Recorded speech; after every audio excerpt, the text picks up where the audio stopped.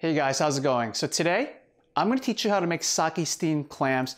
This recipe was taught to me over 10 years ago by a Japanese chef. And when it comes to picking the sake, you don't have to use anything expensive. In fact, I used a $8 bottle of sake. For $8, you get a lot and it lasts a long time. I've had this bottle for well over a year and I still have a lot of sake left over for, for cooking.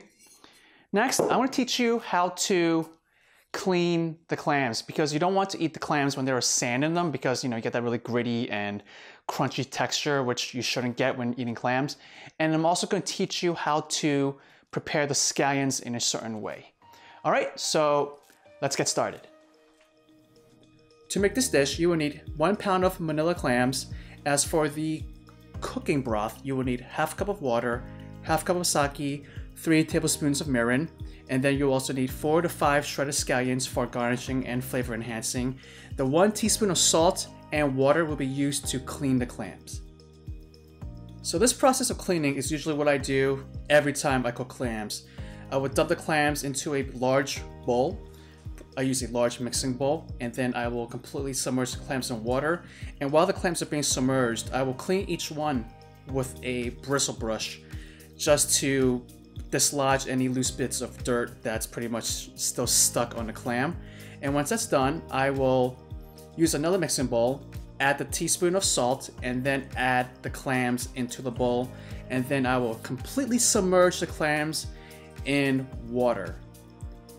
And then once the clams are completely submerged, I will move the clams around just to help the salt distribute throughout the water. And once that's done, I let the clams sit in the salt water solution for about three hours. Alright, so while the clams are soaking, you can actually start shredding the scallions, and I'm going to show you two methods on how to do this. Alright, so in preparation for the shredding, cut the scallions into two to two and a half inch segments, and then we'll get started with the first method. The first shredding method is very easy. Just place a piece of the scallion on the cutting board and then hold down one end with your with your hands and with a paring knife start digging it in and then pull the blade towards the opposite end and this will start to shred the scallions. Just make sure you have a sharp paring knife and do watch those fingers. I don't want you getting cut or getting nicked uh, with the blade during this process. Once everything is shredded for that piece, just cut off the end and then start on the other pieces. Now, that end piece that was just cut off, don't waste it, save it for another time. And then just repeat it for all the other pieces. Um, this is a pretty easy way to, to shred to shred the scallions uh, without wasting too much time. The other method on how to shred scallions is to hold it with your hand and then invert the paring knife and then start digging that blade towards the bottom and then pull it towards the top. So cutting wise, it's just very similar. It's just a different method. Uh, I prefer this method um, only because I kind of grew up shredding scallions this way and I just feel like I get better control and I can get finer shreds doing it this way. It doesn't matter if you use method one, it doesn't matter if you use method two, it's all going to be the same at the very end. So um, just do whatever you think uh, works for you.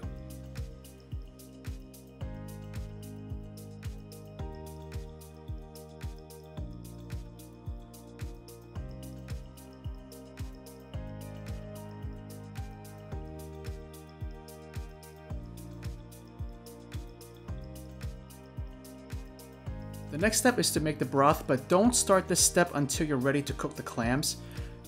So when you're ready, pour in the sake, water, and mirin into a measuring cup or into a single container.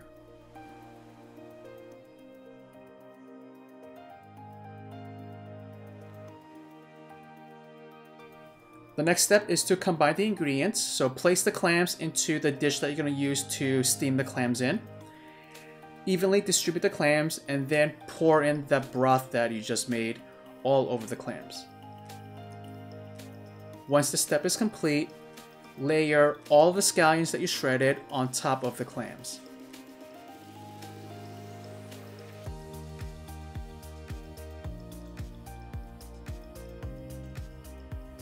Now the clams are ready to be cooked. Place the clams into the steamer and steam for 6 to 7 minutes. Usually it won't take longer than that, but if your clams are larger, it will take longer. And you'll know the clams are, are done when the shells pop open. Now for the clams that don't have open shells, don't eat those, discard them. And then really, this dish is ready to be consumed. You can eat the dish as is, you can use the same dish that the clams were cooked in, or you can remove the clams and place them onto another dish for better presentation. Just be sure to eat the clams when they're still hot. Well, that's it for this video. Hope you enjoyed the recipe. And if you're into Asian cooking, you want to learn more about Asian cooking, subscribe, drop a like, and I will see you next video.